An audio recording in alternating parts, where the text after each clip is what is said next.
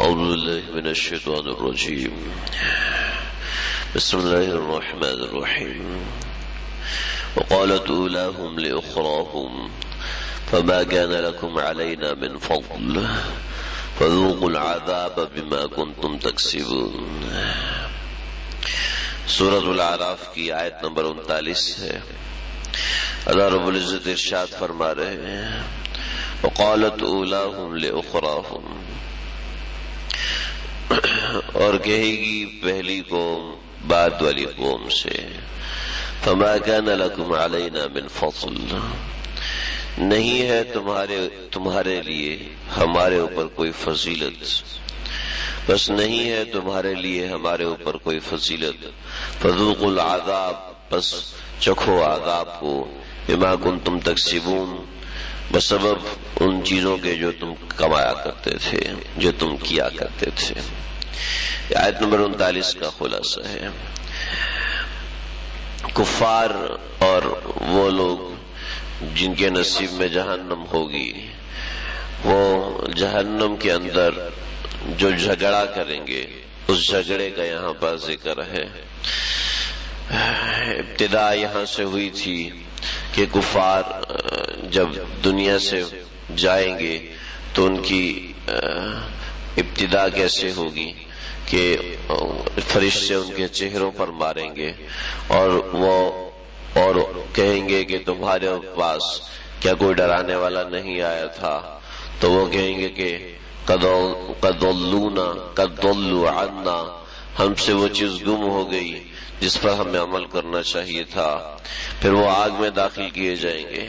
تو آگ میں داخل کر کے وہ بہت سی باتیں کریں گے، جن میں کچھ باتوں کا یہاں ذکر ہے کہ پہلا تو یہ ہے کہ لعنت اختہا لعنت اختہا کہ ہر قوم اپنے جیسی دوسری قوموں پر لانت کرے گی۔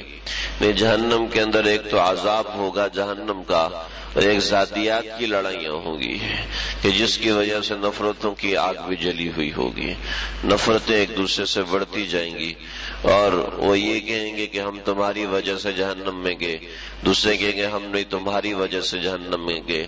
کہیں گے اللہ، ہم ان کی وجہ سے جہنم میں گئے ہیں۔ تو آپ ان کو ہم سے دگنا عذاب دیجیے ایسی ایک لڑائی اور ہوگی۔ اور وہ یہ ہوگی کہ جب جب یہ سارے کسی مقام پر ملیں گے، عذاب کے، عذاب میں مبتلا، عذاب سے بچنے کے لیے بھاگتے پھریں گے۔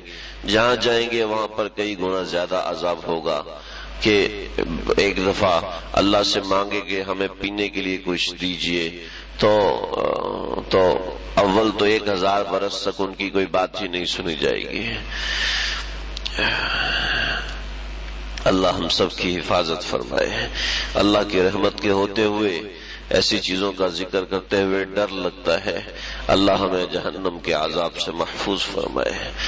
تو جہنمی اللہ سے پانی مانگیں گے۔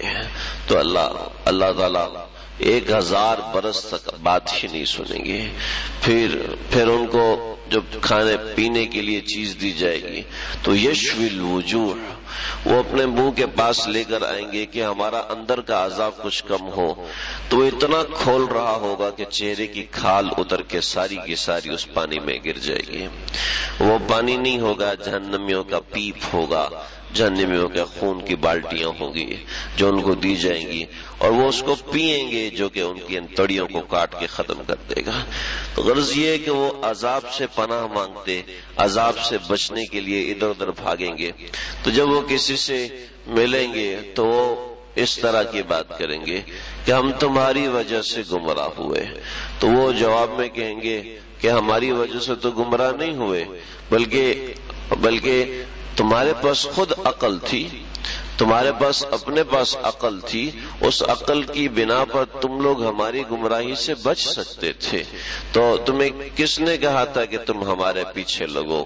چنانچہ یہی بات ہے۔ کہ تمہیں کس نے کہا تھا فلموں کی طرف جاؤ تمہیں کس نے کہا تھا یہ حرام کاری کرو؟ تمہیں کس نے کہا تھا شرابیں پیو؟ تمہیں کس نے کہا تھا اپنی من مرضی کی زندگی گزارو؟ تمہیں کس نے کہا تھا؟ تو وہ کہیں گے تمہارے بار بار کے اس عمل نے ہمیں مجبور کر دیا تھا کہ ہم تمہارے پیچھے چلتے۔ تمہارے بار بار برائی کی دعوت دینے نے ہمیں مجبور کر دیا تھا کہ ہم برائی میں جاتے۔ تو وہ پھر کہیں گے کہ تمہارے پاس خود کے پاس عقل تھی کہ ہمارے بار بار کہنے نے تمہیں مجبور کیا اور تمہاری عقل نے تمہیں اس بات پہ مجبور نہیں کیا کہ تم برائی میں برائی میں نہ آؤ۔ تو پھر وہ اس کے ساتھ یہ بات کہیں گے کہ جیسے جیسے جیسے تم عذاب میں ہو، ویسے ہی ہم عذاب میں ہیں۔ یہ مت سمجھنا کہ تمہارے گمراہ کرنے کی وجہ سے ہمارے اندر عذاب میں کمی ہوگی۔ تمہارے گمراہ ہونے کی وجہ سے تمہارے درجے میں کوئی بلندی ہوگی۔ قالت اولا ہوں اخرا ہوں ایک قوم دوسری قوم سے یہ کہہ رہی ہوگی۔ جب ایک دوسرے سے وہاں پر اس بات پر بحث ہوگی، اس بات پر لڑائی ہوگی اور یہ لڑائی ہوگی کہ یہ لڑائی ہوگی کہ تم نے ہمیں جو گمراہ کیا تھا تو اس کی وجہ سے، اس کی وجہ سے تمہیں عذاب زیادہ ہونا چاہیے اور ہمیں کوئی فوقیت مل جانی چاہیے، ہماری کوئی بچت ہو جانی چاہیے۔ تو کہے گی، فما کان لکم علینا من فضل۔ تمہارے تمہارے لیے ہمارے اوپر کوئی فضیلت نہیں ہے کہ ہمیں کم عذاب دیا جا رہا ہے اور تمہیں زیادہ عذاب دیا جا رہا ہے اور ہمیں ہمیں زیادہ عذاب دیا جا رہا ہے اور تمہیں کم عذاب دیا جا رہا ہے۔ ایسا نہیں ہے فضوق العذاب، عذاب چکھو بما کم تم تک جو تم کیا کرتے تھے، ہمارے پیچھے چلنے کی گمراہی میں مبتلا ہوا کرتے تھے۔ وہ جو تم نے کیا، اس کے اوپر تمہیں عذاب دیا جائے گا۔ تم اس عذاب کو چکھو۔ پھر یہ، یہاں پر جہنم کے اندر جو آپس کے کا مکالمہ اور آپس کا جھگڑا ہوگا، اس کی تفصیل ہے۔ پھر اس کے بعد آگے زندگی ختم ہونے کے ساتھ جو معاملات ہوں گے، ان کی تفصیل ہے۔ ان الذين كذبوا بآياتنا واستكبروا عنها بے شک وہ لوگ جنہوں نے جھٹلایا ہماری آیات کو اور ان سے تکبر کیا، لا تفتح لهم ابواب السماء، ان کے لیے آسمان کے دروازے کھولے نہیں جائیں گے، ولا يدخلون الجنہ، اور ان کو جنت میں داخل نہیں کیا جائے گا، حتى يلج الجمل في سم الخياط،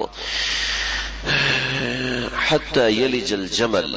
جمل کہتے ہیں اونٹ کو فیسم الخیات دھاگا ڈالنے کے لیے جو سوئی ہوتی ہے، اس سوئی کے آگے والے کونے کو کہتے ہیں سم الخیات کہ سوئی کا ناکا ان کو جنت میں اس وقت تک داخل نہیں کیا جائے گا، جب تک سوئی کے ناکے میں اونٹ داخل نہ ہو جائے۔ مراد یہ ہے کہ جیسے اونٹ کا سوئی کے ناکے میں داخل ہونا ناممکن ہے۔ ایسے ان کا جنت میں داخل ہونا بھی ناممکن ہے۔ وقد علی کے نجز المجرمین ایسے ہی ہم مجرموں کو جزا دیتے ہیں۔ جیسے ہی انسان کی روح قبض ہوتی ہے، تفصیلی احوال میں کل عرض کروں گا۔ روح جیسے ہی انسان کی قبض ہوتی ہے، تو یہ روح سیدھا اٹھتے ہی آسمان کی طرف جاتی ہے۔ اور ہر ایک کی روح کا الگ معاملہ ہوتا ہے۔ جس سے عرض کیا تھا کہ والملائکۃ یضربون علی وجوہہم فرشتے ان کے منہ پر مارتے ہوئے ان کی جانوں کو نکالتے ہیں۔ اور دوسری طرف، یا ایتھا النفس المطمئنہ، ارجعی الی ربک راضیہ کہ اے نفس مطمئنہ تو نکل آ۔ تو وہ مومن کی روح جاتی ہے، کافر کی روح بھی جاتی ہے۔ اور مومن کی روح جیسی آسمان پر جاتی ہے تو آسمان کے دروازے اس کے لیے کھول دیے جاتے ہیں۔ اور آپ دیکھتے ہیں، جب بھی کسی شخص کا انتقال ہوتا ہے، تو اس کی آنکھیں کھلی کی کھلی رہ جاتی ہیں۔ کیونکہ اس کا جسم اپنے آپ کو نکلتا ہوا اور جاتا ہوا دیکھ رہا ہوتا ہے، چاہے وہ مسلمان ہو، چاہے وہ کافر ہو۔ ہم یہ سمجھتے ہیں کہ وہ اپنے فلانا پیارے کو دیکھ رہا ہے، وہ اپنے پیارے کو دیکھ نہیں رہا ہوتا۔ اس کے اندر کی آنکھ کھل چکی ہوتی ہے۔ وہ اپنے آپ کو نکلتا ہوا دیکھتا ہے۔ تو اپنا اس کا جسم نیچے رہ جاتا ہے، وہ خود اوپر چلا جاتا ہے، تو اپنے آپ کو دیکھ رہا ہوتا ہے کہ فرشتے آتے ہیں، رف رف لے کر، یا فرشتے آتے ہیں، عذاب لے کر، جو اس کو اوپر لے کے جاتے ہیں۔ تو جب یہ روح اوپر جاتی ہے، تو مومن کے لیے معاملہ الگ ہے۔ ان الذين كذبوا بآياتنا واستكبروا عنها جن لوگوں نے ہماری آیات کو جھٹلایا اور ان سے تکبر کیا۔ لا تفتح لهم ابواب السماء ان کے لیے آسمان کے دروازے نہیں کھلتے کہ ان کے لیے آسمان کے دروازے کھولے جائیں۔ مومن کے لیے آسمان کے دروازے کھلتے ہیں، یہ اوپر جاتے ہیں، اور ان کے ساتھ جو معاملہ ہوتا ہے، تفصیلات ہیں، عرض کروں گا۔ اور پھر وہ دوبارہ نیچے آتے ہیں، اب اس روح کو لے کر، اس روح کو جسم میں ڈال دیتے ہیں۔ اب یہ جو زندگی ہوتی ہے اس زندگی کا انداز دوسرا ہوتا ہے۔ اس زندگی کا انداز الگ ہوتا ہے۔ جسے خواب کی ایک زندگی ہوتی ہے، اس کا انداز ہماری جیتے جاگتے کی زندگی سے الگ ہوتا ہے۔ ایسے ہی قبر میں جب روح کو لوٹا دیا جاتا ہے، تو اس کا جسم بھی، اس کا معاملہ بھی بالکل الگ ہوتا ہے۔ پھر اس کو اٹھا کے بٹھا دیا جاتا ہے اور پوچھا جاتا ہے کہ مر رب کا ماں دینوں کا اور تمہارا رب کون ہے؟ تمہارا دین کیا ہے؟ اس شخص کے بارے میں کیا جانتے ہو؟ یہ سوال سوالات کیے جاتے ہیں اور ان سوالات کا جواب ان سے لیا جاتا ہے اور جو روح کافر کی ہوتی ہے، لا تفتح لهم ابواب الصبا ان کے لیے آسمان کے دروازے نہیں کھولے جاتے، بلکہ اس کی روح کو اوپر سے ہی دھکا دیا جاتا ہے اور نیچے آ کے زمین پر پٹکتی ہے اور پھر اس کے ساتھ مختلف عذابات شروع ہوتے ہیں۔ اس کا ذکر ان آیات کے اندر ہے۔ انشاءاللہ آئندہ بھی عرض کروں گا۔ اللہ سمجھنے کے عمل کرنے کی توفیق عطا فرمائے۔